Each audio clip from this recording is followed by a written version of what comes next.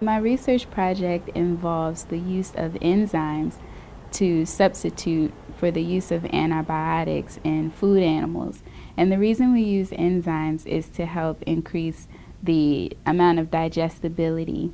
Um, in this case, the pre-weaning pigs served as animal models. The use of antibiotics, you can develop a resistance.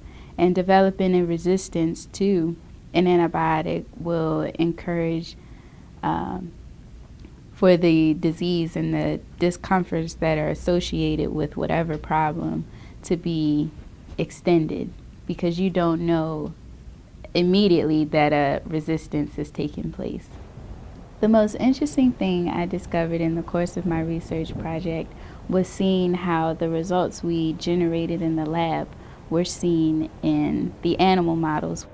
This program has allowed for me to balance school and as well as my research project. Not only that, as far as school is concerned, the courses that I've been taking since I've been in the program have been um, complemented in the research that I'm performing. So as I'm in the lab doing some work, I can better understand what I'm learning in my lecture and because I'm able to apply it and practice it. My participation in the undergraduate research program has increased my interest in science and has given me more encouragement and more excitement as my as far as my educational pursuits are concerned.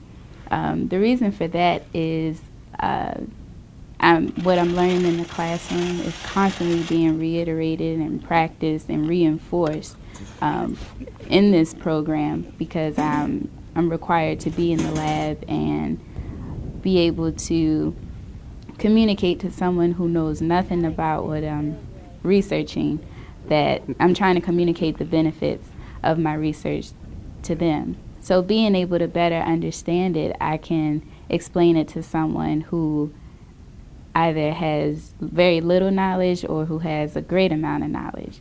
So it gives me a lot of practice with that. I would recommend the undergraduate research program to students who are very serious about pursuing a career in science or any other type of research. And I think that it's very good practice, um, especially at an undergraduate level. Um, it's common for students to not get this type of exposure until the graduate or the professional level. But being as though you're at this you're you're an undergrad is is very good practice and it'll supply an easy transition to those higher levels of education. I decided to major in animal sciences because I thought it would be the most appropriate major to best prepare me for a veterinary career and for well first veterinary education, which is what I'm pursuing.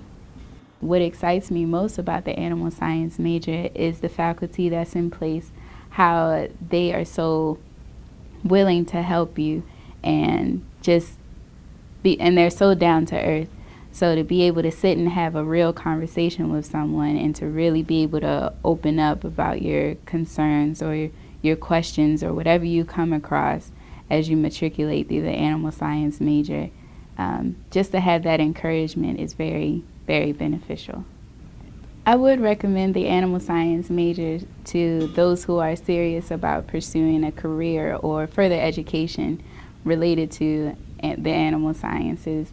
And the reason for that is it, as intensive as the program is, it prepares you so well for the next level, whether it is the professional world or whether it's higher education.